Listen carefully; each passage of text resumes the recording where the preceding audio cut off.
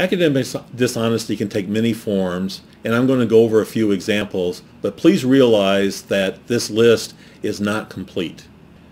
Examples of cheating on an exam might include uh, using unauthorized materials such as crib notes or electronic uh, aids, copying from another student either with or without their cooperation, um, taking more time than is allowed um, by the instructor, and by that I mean if the instructor says pencils down in the test, you need to immediately put your pencil down and stop working on the exam.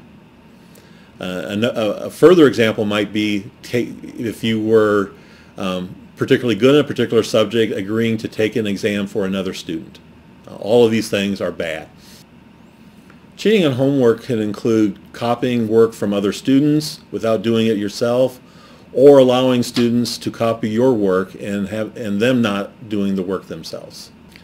Okay, falsification of information is also a serious offense. This might include um, making up data in a lab exercise. It might mean making false statements of fact as if you knew something was true but you'd really made it up. Or it might be just making improper citations that about the information but the citations are either uh, fabricated or misleading.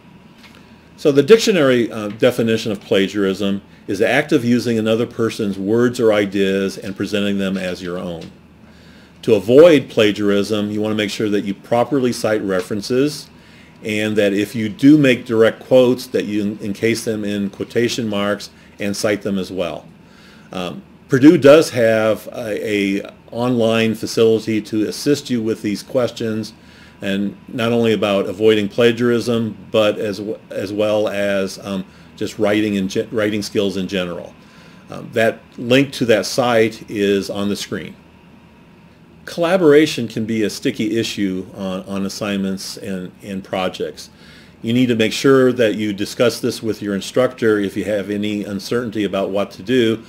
Um, in many cases, collaboration is encouraged, such as in team projects or uh, study groups. Other cases, the instructor will want you to have conducted the, all the work individually by yourself without any outside help.